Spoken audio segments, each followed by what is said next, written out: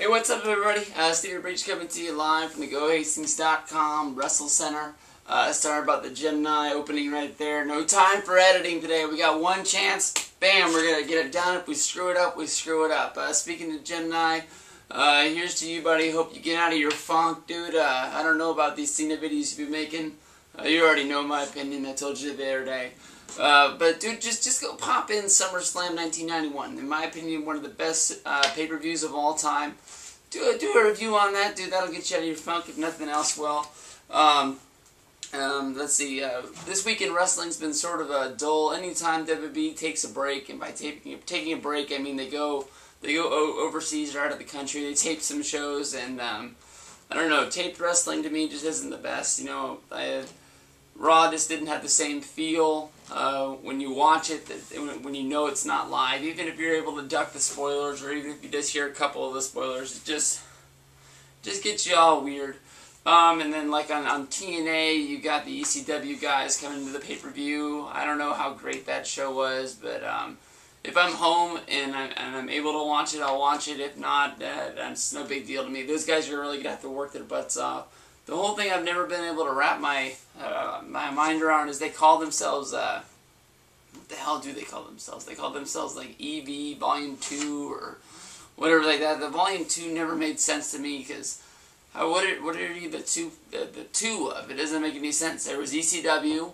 Uh, that's one, and then ECW closed, and then then there, was ECW that, that uh, rebranded in the Invasion. That should be two. And then Vince came up and he started the uh, ECW on TV on TNN. Or no, it was on Sci-Fi, and that was three. And now you're on TNA. That would be four. Why aren't you 4.0? I don't know. That's that's just me though. Um, but we're working on some big SummerSlam news right now, uh, as everybody knows. Oh, by the way, Monday Night Raw, Sacramento, California on Monday. I'll be going. I don't have a ticket. I'm going to be at the uh, the Mercy of the Scalpers Scalpers come see me. I'm looking for one, baby. I need one. Who needs one? Um, but I'll be out there, and then right after that, we're heading down. Everybody knows big Disneyland trip, and then uh, what, what we also working on, we got SummerSlam, oh, the good old Summerfest, everybody. Um, when I'm down there, we got tickets to Axxess. Um, uh, there's going to be uh, the Sunday showing. Big, big names for, for Sunday. I was sort of uh, thinking it was going to be the Jobber Show mostly because they were having to get everybody ready for the show. But um, for the Sunday showing, there's going to be Kane, Cody Rhodes, Kelly Kelly, Alicia Fox, Jack Swagger, Hornswoggle, Great Khali in the opening ones. So for those, I bought a Jack Swagger figure. Um, I got the, uh, the, the the newer Mattel version 2 that should be rolling in um, anytime now. Uh, for everybody else, uh, if I get in those lines, um, Oh, for Jack Swagger, I also got an 8x10. I'm going to be that douchebag who tries to throw two items on the table and just see what's going on. For the uh, the, the 8x10, I got the uh, uh, Money in the Bank from WrestleMania where he's pulling down the briefcase. Uh, I was there. I love it. So, we lost the Hogan figure. Damn it. Happened again. But, um, I just couldn't pass up on it. So, yeah, I got two items for uh, Jack Swagger. Everybody else could be signing the uh, encyclopedia, it looks like, for the, the later uh, that starts at 1 o'clock. They have the one guys go away and the other guys come out. There's going to be a Bret the Hitman Hart Q&A. The Miz, the Bellas, Sergeant Slaughter, Ted DiBiase, Maryse, Eve, Evan Bourne, Jillian Hall, and Hornswoggle again.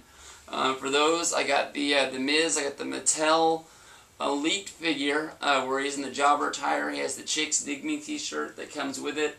Um, I got that to get signed. I bought a six Sergeant Slaughter um, Jakks figure. It's uh, um, it's a uh, elite figure as well. I forget what it, it was a different name. It was like a Legends Elite or something like that. The one of the last sort of like upgraded ones that came out with it. It's got a brown box on it.